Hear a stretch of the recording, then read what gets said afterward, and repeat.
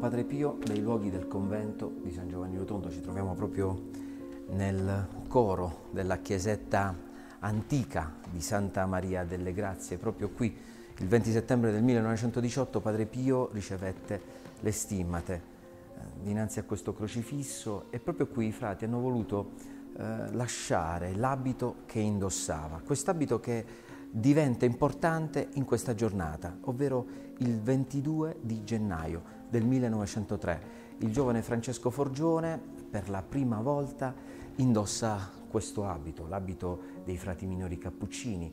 Eh, ecco, mm, viene compiuta dal padre maestro a Morcone la vestizione, quindi viene vestito di quest'abito e da quel giorno, dal 22 di gennaio del 1903, cambia nome, non sarà più Francesco Forgione, ma sarà Fra Pio da Pietrelcina, il nome che gli venne imposto dal padre maestro. Ma ehm, quando noi ricordiamo questa data dobbiamo ricordare anche un'altra data, un anno più tardi, eh, sempre nello stesso convento eh, di eh, Morcone, eh, il giovane frate Cappuccino al termine dell'anno di noviziato, perché trascorrerà qui un anno intero, emetterà i voti, ovvero la professione eh, temporanea, quella che durerà tre anni per poi eh, rinnovare questi voti con la professione perpetua in un altro convento, nel convento di Sant'Elia Pianisi. Ecco, oggi qui per ricordarvi, anche perché diversi sono i racconti e i video che abbiamo eh, effettuato proprio ricordando il giorno della vestizione, il giorno della professione di Padre Pio, ma quello che oggi vogliamo ricordare qui, come viveva eh, l'anno di noviziato Padre Pio in questo convento. Qual era la vita del frate minore cappuccino? La giornata cominciava alle 5, quando un confratello agitava la battola nel corridoio per la sveglia. Poi il novizio doveva alzarsi, rifare il letto, metterci sopra un grosso crocifisso. Poi doveva lavarsi e scendere in chiesa per la meditazione e quindi la messa. Alle 8 c'era la, col- la colazione, olio e pane bollito dopo la colazione in cella, studiare la regola, le costituzioni dell'ordine, un libricino di una ventina di pagine. Per tutto l'anno del noviziato non era consentito leggere altro libro. Dalle 11 alle 12 venivano svolti lavori vari nel convento, come per esempio attingere l'acqua al pozzo, pulire la chiesa, quindi pulire anche lo stesso convento. Alle 12 c'era il pranzo, consistente eh, in eh, pane e stufato. Molti frati infatti eh, raccontano e ricordano quella terribile situazione, ovvero terribile fame durante il noviziato che hanno sofferto.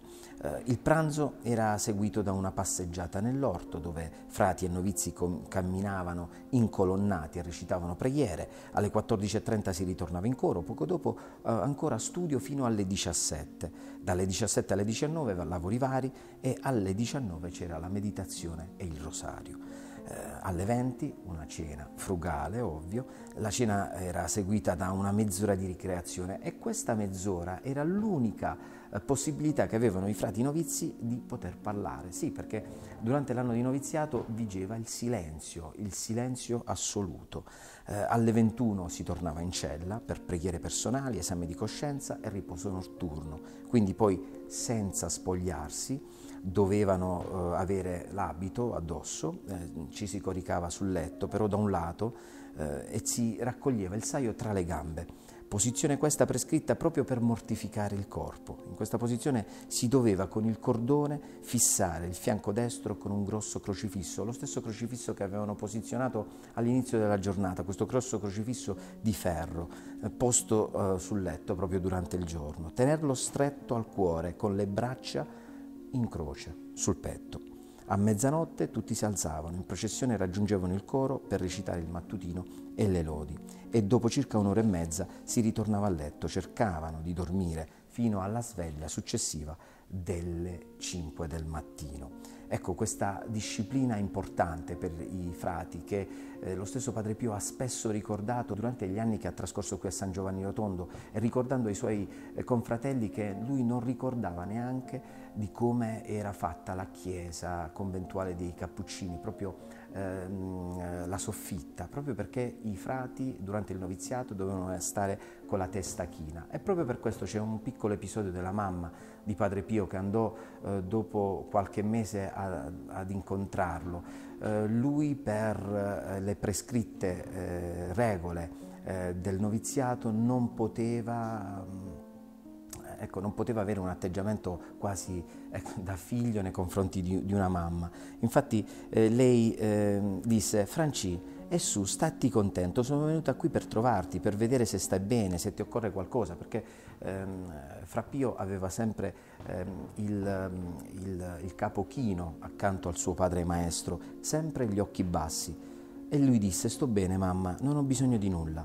In seguito poi la mamma, raccontando quell'episodio ad un conoscente, dichiarò, eh, se sapevo che faceva così io non ci andavo proprio da mio figlio, però qualche tempo dopo fu proprio il padre maestro, padre Tommaso, che gli disse, Fra Pio vive con noi, ma è come eh, non stesse con noi, perché egli è così più avanti di noi in virtù. E proprio per questo c'è anche un altro episodio, quello del papà che appena tornato dall'America andò a trovare il figlio e subito quando eh, lo incontrò ebbe un simile atteggiamento come quello per la mamma e lui subito, il papà, che era un po' più, eh, più irruento, più eh, esplosivo da quel punto di vista, disse ma che avete fatto a mio figlio? non si riconosce più. Allora padre Tommaso dovette intervenire dicendo Frappio siete sciolto dall'obbedienza. E allora subito Frappio alzò gli occhi illuminati, guardò il papà, cominciò a sorridere e disse tata mio, tata mio